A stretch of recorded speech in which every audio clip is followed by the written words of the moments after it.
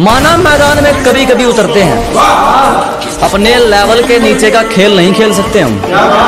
अजी माना के मैदान में कभी कभी उतरते हैं। अपने लेवल के नीचे का खेल नहीं खेल सकते हम। और हम अच्छे नहीं लगे तो कोई और देख लीजिए। रोज रोज किसी के ड्रामे नहीं झेल सकते हम।